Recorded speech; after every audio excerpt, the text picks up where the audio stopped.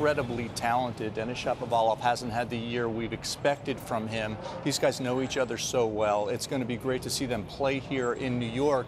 And uh, for Shapovalov, he's capable of beating everybody. And these are two of the premier youngsters in the world. We're talking about, I think, both future top tenors very soon. I mean, Auger-Aliassime played qualies here last year. That's that's amazing. And and now. Didn't you think Felix a year later from here, from last year's Open, was going to be seeded? Was that yes, your prediction? I did. My one thing I said right. That was awesome.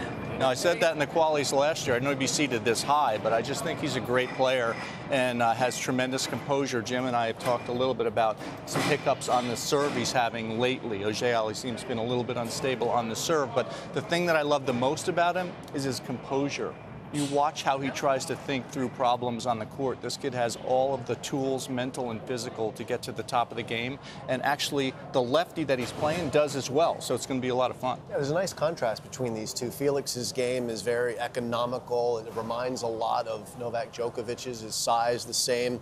Uh, the way that he's balanced forehand and backhand, very similar. And then you look at Denis Shapovalov on the other side. I mean, everything from his hair, which is tightened up it's not as unruly as it was last year, but his game is very flashy and flamboyant, uh, flexible with his with his swings. Um, he's a lot of fun. He's a slashing shot maker, whereas uh, Auger-Aliassime is more of a technician out there in many ways. And, and, James, you saw at your tournament Miami, Denis and Felix both had great runs. Yeah, and I, I didn't want to see this end that way last year, obviously, but what you do see is you see a true friendship and you see the fact that these players are human beings. And I think that's a great reminder for people that they do have other issues off the court. And Felix Auger-Aliassime had a health issue last year and now uh, feeling much better. And we want to see them uh, decide this with their rackets. And, and, and, I think it was a great reminder. Let's look at their section of the draw, James. How, how good is it? I mean, how, what do you think might happen?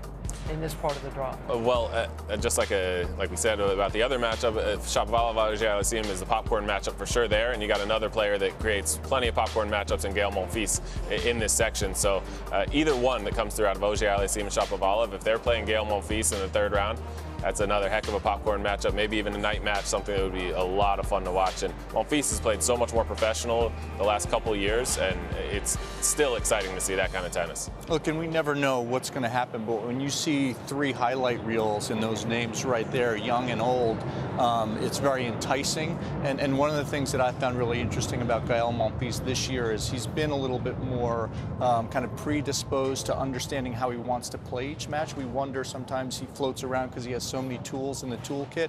I think the court speed for Gael Monfils is very good this year. Mm -hmm. um, Taylor Fritz practiced with him last week, so I got the opportunity to be on the court uh, watching, and I still, I still think maybe the best athlete that's ever played the men's game.